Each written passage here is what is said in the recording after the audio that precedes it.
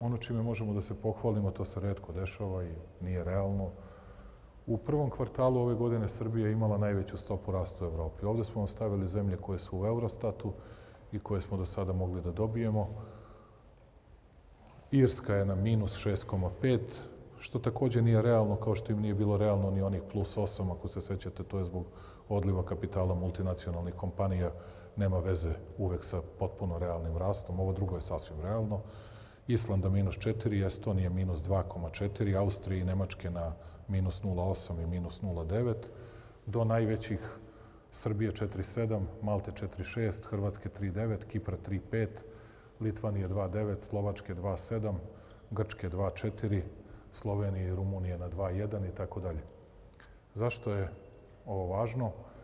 Kasnije ću izaći oko drugih stvari. E, zašto je ovo važno?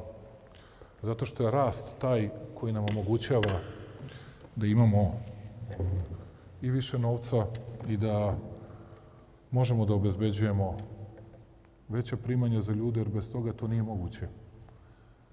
Pošto vidim da je krenula sezona različitih štrajkova i zahteva, gledat ćemo da učinimo sve što je moguće, ali molim sve ljude Ja razumem njihovu i političku agendu i sve drugo. Samo molim sve ljude da se ponašaju u skladu sa realnim mogućnostima svoje zemlje, realnim mogućnostima rasta ove zemlje, a ne u skladu sa svojim željama.